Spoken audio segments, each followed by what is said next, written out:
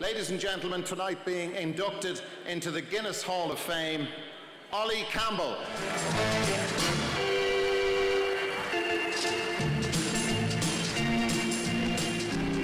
I had a, I played for 21 years, all right, from Belvo, under eights, when I, under nines, when I was eight years of age, until I retired prematurely at 29, so 21 years. And I can honestly say, honestly say, hand on heart, that some of my fondest memories, my best memories, are actually in a Leinster jersey. Playing for Leinster schools, Leinster under 19s as it was, and obviously for the Leinster, Leinster senior team. I was very lucky to play with some really, truly great players who would have been household names at the time and would be still to this day, with some really inspirational captains um, and I suppose some very creative and innovative coaches as well. So that's really what Leinster and playing for Leinster would, would have meant to me. Indeed. Um, I'm always interested in, in I suppose, when, when you look at the setup that the lads work in now, um, whatever better than world class is, it is that. But can you compare, you know, what the lads experience now to say when you played for Leinster those years ago? No.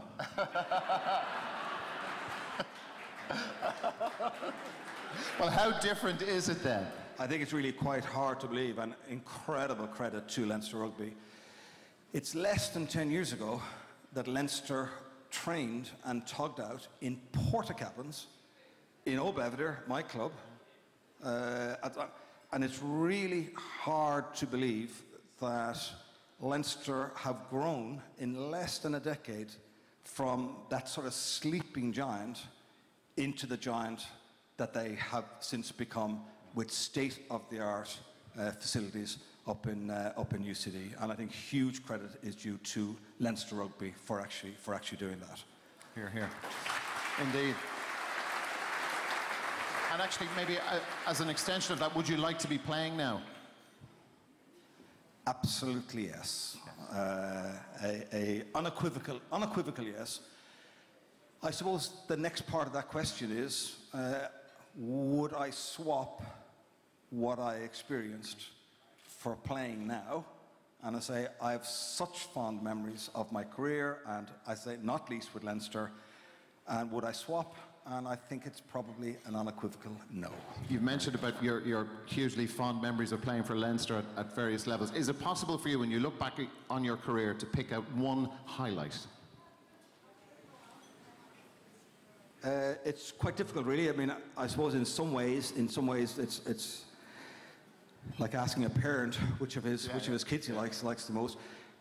Um, I suppose I, maybe a Leinster memory, maybe. Uh, very, very as brief as possible.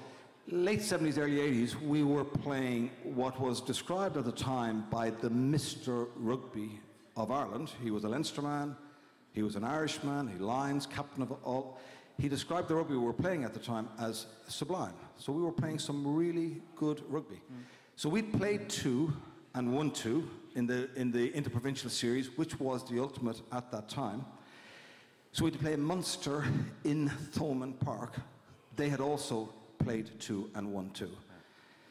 Now, we always hear these days about when the Interpros were played, it was just two men and a dog. This was a complete sellout, hanging from the rafters. It was December 79, I think. And uh, so we decided to go down and not only to beat Munster, but to beat them playing a Munster way. Because that will be what they were least expecting.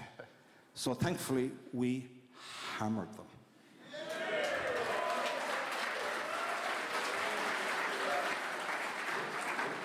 Final score 4 3.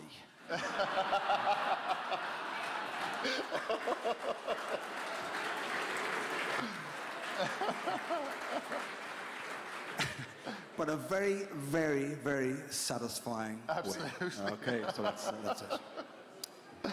So look, uh, Daria, if we're, if we're wrapped up, if I can, I, I, I, um, I just would like to say that I'm, I'm extremely grateful, um, extremely honored uh, with, and will cherish, cherish, really cherish this award.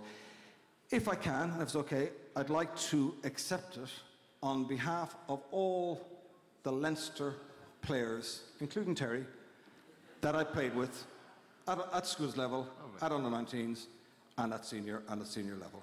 Um, That's really nice. Thank you. That's lovely.